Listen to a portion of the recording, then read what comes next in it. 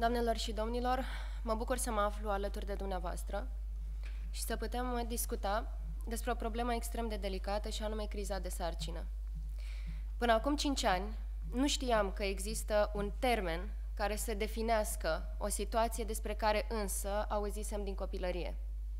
Acea situație când o femeie află că este însărcinată, dar, din păcate, nu este susținută, nu este ajutată, nu este sprijinită de, de către partenerul de viață sau de către familie.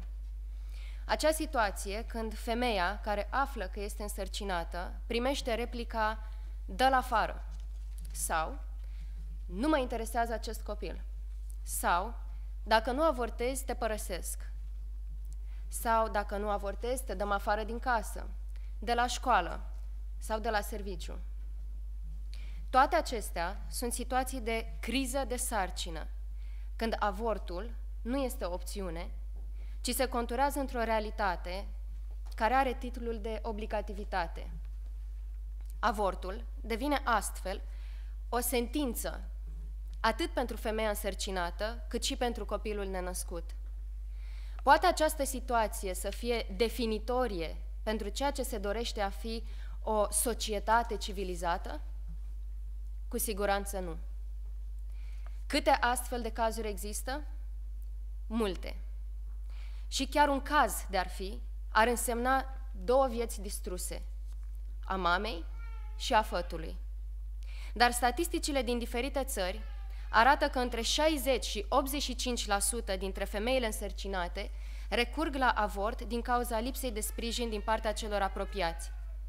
Avortul este o traumă fizică și psihică, cu care femeia este obligată să trăiască tot restul vieții. Avortul vine cu risc de sterilitate și chiar deces. Personal cunosc femei care acum au 75-80 de ani și care regretă faptul că și-au avortat copilul, chiar dacă poate înaintea aceluia și după el au mai existat și alți copii născuți. Avortul vine cu riscul de destabilizare a familiei. Toți știm că fiecare copil este unic și irepetabil. Toate acestea pot fi evitate dacă femeile aflate în criză de sarcină ar primi ajutor. Sunt atât de multe femei care regretă că au făcut avort și sunt atât de multe femei care sunt fericite că au ales să-și nască pruncii, chiar dacă situația din acel moment nu a fost cea mai ușoară. Perioada sarcinii este cel mai deosebit moment din viața unei femei. Este totodată și cel mai vulnerabil. A purta, a naște, a crește oameni înseamnă cel mai frumos și solicitant aspect al vieții. În acești cinci ani, de când sprijin femeile aflate în criză de sarcină, viața mi-a oferit multe exemple de situații.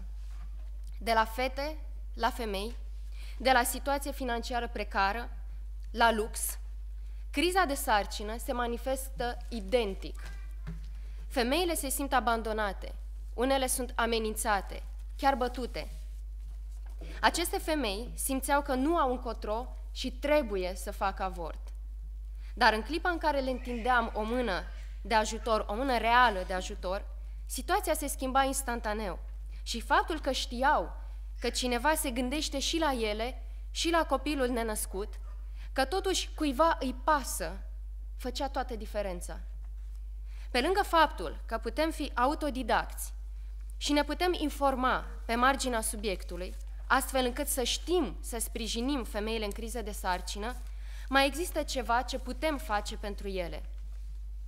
Să facem legi, astfel încât, dacă familia sau partenerul nu o ajută, să știe că mai are totuși o plasă de siguranță din partea legiuitorului.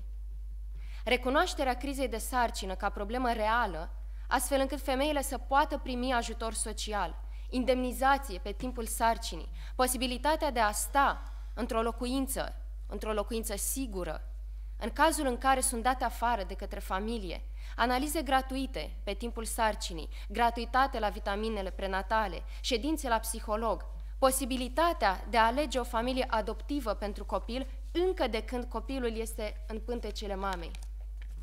Toate acestea reprezintă punți care pot ajuta femeile să-și nască copiii. În România, nimeni nu a făcut un sondaj pentru a vedea factorii determinanți pentru care femeile ajung să apeleze la avort.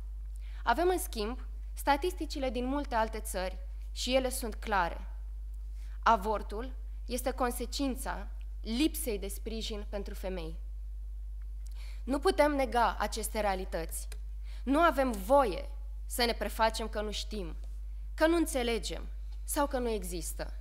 Avem, în schimb, voie să fim buni, să ajutăm, să demonstrăm faptic, nu doar declarativ, nivelul nostru de civilizație, de empatie și de umanitate. Bărbații adevărați își asumă responsabilitatea propriilor acțiuni. Își asumă familia cu toți copiii, inclusiv cei nenăscuți. Femeile adevărate își asumă și își sprijină rolul pentru celelalte femei, atunci când acestea au nevoie și cer ajutorul. Trebuie să ne unim forțele și trebuie să recunoaștem că acel ceva în plus pe care noi, femeile, îl avem spre deosebire de bărbați, este puterea de a naște oameni. Societatea cu adevărat evoluată oferă ajutor femeilor aflate în criză de sarcină, le recunoaște importanța și înțelege că pentru a continua să existăm, trebuie să oferim sprijin acelora care dau viață. Închei prin a vă reaminti un citat al lui Alice Paul, sufragetă, care spune și întreabă cum poate cineva să protejeze și să ajute femeile prin faptul că le ia viața înainte de a se naște. Vă mulțumesc!